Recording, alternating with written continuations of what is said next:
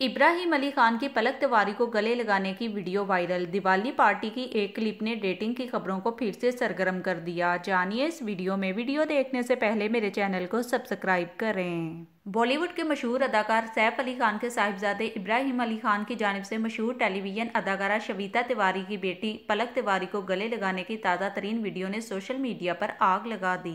Social media पर viral होने वाली वीडियो में इब्राहिम और पलक को डिज़ाइनर जोड़ी अबू जानी और संदीप की मेजबानी में मुनद होने वाली दिवाली पार्टी में एक साथ शिरकत करते हुए देखा जा सकता है। डिज़ाइनर जोड़ी की शानदार पार्टी में एक साथ शिरकत के साथ साथ इब्राहिम की जानब से पलक तिवारी को गले लगाने की वीडियो ने दोनों अदाकारों की डेटिंग की अफवाहों को एक बार फिर से साबित कर दिया है।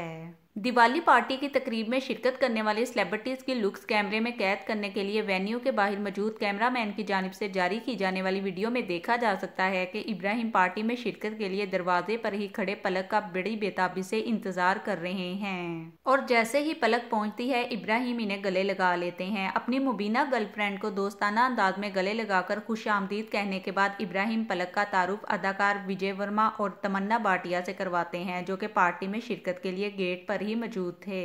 इब्राहिम अली खान और पलक तिवारी की दिवाली की वीडियो जैसे ही सोशल मीडिया पर वायरल हुई तो फैंस ने भी इस वीडियो पर अपने कमेंट्स जारी कर दिए। फैंस का कहना था कि इब्राहिम और पलक की जोड़ी बिल्कुल परफेक्ट है क्योंकि ये दोनों एक दूसरे के साथ बेहद खूबसूरत नज़र आते हैं। आपको बताते चले कि इब्राहिम अली खान और पलक तिवारी की डेटिंग की अफवाहें काफ़ी अरसे से सोशल मीडिया पर सरगर्म है। ताहम जोड़े की जानब से कभी भी डेटिंग की न्यूज़ की तस्दीक या तरदीद नहीं की गई।